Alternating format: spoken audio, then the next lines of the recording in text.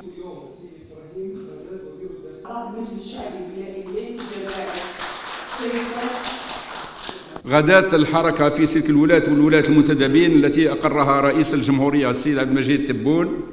يسعدني أن ألتقي بكم اليوم في مراسيم تسليم واستلام المهام الخاصة بولاية بوالي ولاية الجزائر بين السيد أحمد معبد الذي عين بولاية البوليدة والسيد محمد عبد النور رابحي ينتظر منكم السيد الوالي والسيدات والسادة الولاة المنتدبين وبالتنسيق مع المنتخبين المحليين وجميع المصالح الخارجية التابعة لمختلف القطاعات والمؤسسات المحلية. مواصلة الجهود سيما بخصوص التهيئة الحضرية ونظافة المحيط وتحسين الخدمات العمومية. كما يجب عليكم كذلك السهر على تسريع إنجاز وتسليم المنشآت الجوارية المسجلة ذات الأثر المباشر على يوميات ساكنة العاصمة.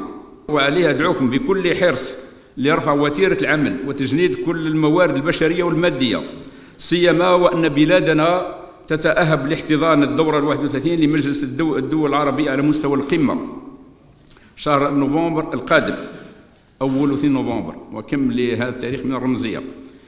إذ سيكون لولاية الجزائر شرف احتضان إشغالها واستقبال ضيوف الجزائر الكرام ليكون هذا الموعد التاريخي سانحا لجميع الجزائريين لإبراز قيم الترحاب وحسن الضيافة وتأكيد تألق بلادنا في احتضان كبريات المحافل الدولية والجهوية.